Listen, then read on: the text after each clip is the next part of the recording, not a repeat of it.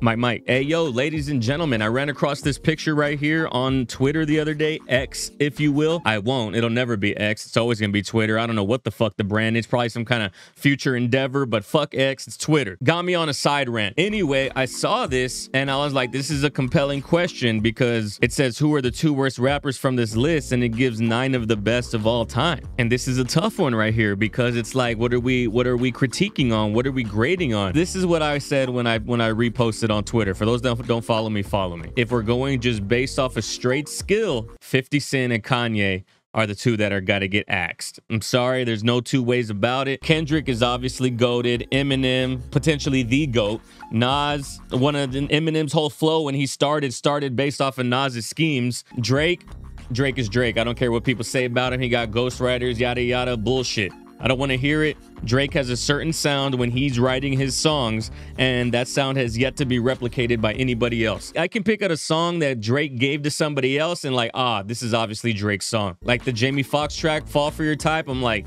this is not Jamie's song. This is Drake's song that he just gave to him for a certain dollar amount. That's how distinct Drake's pen is. Jay-Z, Jay Z's up there with Nas in terms of capability. Nas is probably slightly better, but Jay is Jay. No two ways about it. Lil Wayne, the father, the pioneer of everything that y'all on YouTube who watch YouTube reactions and breakdowns, Lil Wayne is the pioneer of pretty much consistent, constant wordplay throughout every verse of every song. Are all the bars the best?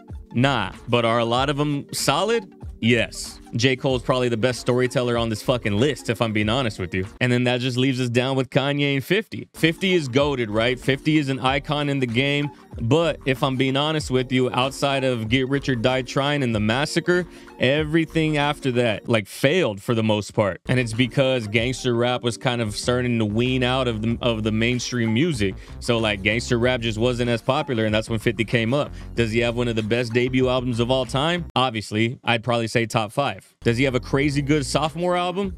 Obviously. He could just be like Snoop Dogg and coast his whole career on those two albums alone.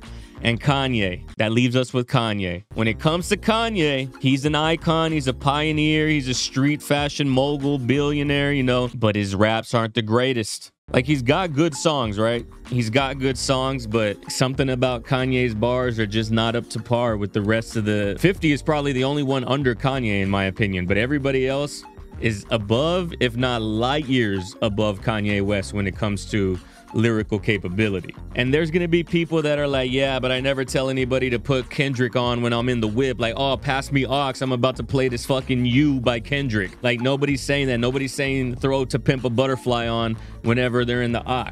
And there's gonna be people that are hating against Eminem just because he's white. And you know, some people say he's corny. There's gonna be some people hating on Drake because of oh, he's a ghostwriter. He's not even really a rapper. Bro, when when Drake raps raps, you know he's a rapper. All right. There's gonna be people hating on J. Cole, calling him corny too. I just don't see any two ways about it. How is it is in how it's anybody but Kanye and 50 Cent. Like when I saw this, that those were the first two people that I thought of. It wasn't even like I had to think about it. I saw the nine on the list. I was like Kanye 50 easy. Then now, now if we're talking about lyrical capability, lyricist, lyricism, I'm probably gonna go M, Nas, Kendrick. Fuck, this is a tough one, bro. I don't even know in this order. You could pretty much put anybody of these dudes at the top and say that. I'm just saying Drake because he is currently on top of the game and will remain on top of the game for basically until he rides out his career. Eminem is Eminem. He's he's more successful worldwide.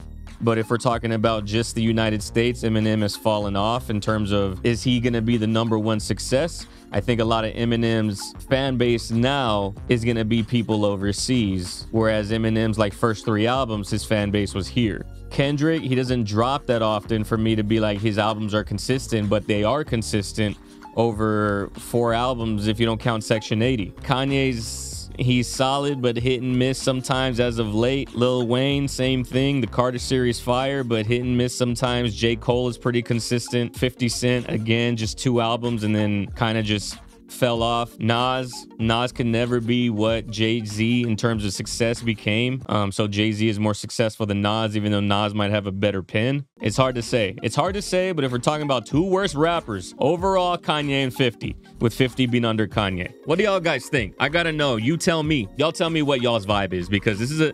It's not tough for me, but if I'm looking from an unbiased standpoint, because I like all of these dudes, I would say Kanye and 50 are easily the worst rappers up there.